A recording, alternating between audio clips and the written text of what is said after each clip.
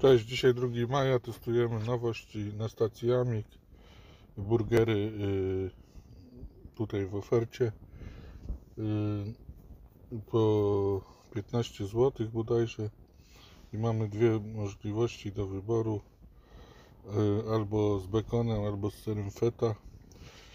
I tu przechodzimy do konkurencji. Konkurencja to stacja Orlen mniej więcej McDonald's, Burger King i tak dalej. I s- teraz oceniam kanapkę, bułeczka bardzo dobra i tylko tyle jeśli chodzi o pochwały. Dodatki też są w miarę dobre. Jest ogórek, są tam różne warzywa.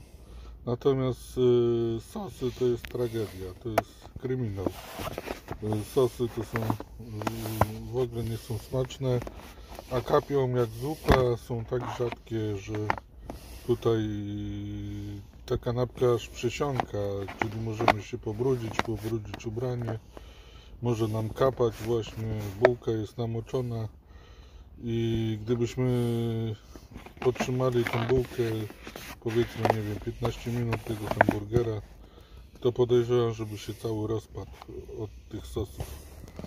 Mm, Nie, przy, nie przyprawiane są tutaj ani mięso, ani warzywa, więc też nie używany jest sól, pieprz. Yy, Pochwała to jest, że kotlet jest podgrzewany w piecu, natomiast sam kotlet jest twardy. Wytwarza specyficzny zapach wołowiny. Nie każdy to lubi, yy, więc jak ktoś nie ma zębów, a dodatkowo ma wrażliwy nos, to, ta, yy, to nie dla niego są te kanapki. Mm, Dodatkowo, tak jak mówię, tragiczne są sosy i mm, tutaj moja ocena nie może być pozytywna. Oceniam te burgery na 5, bo jest dobra cena.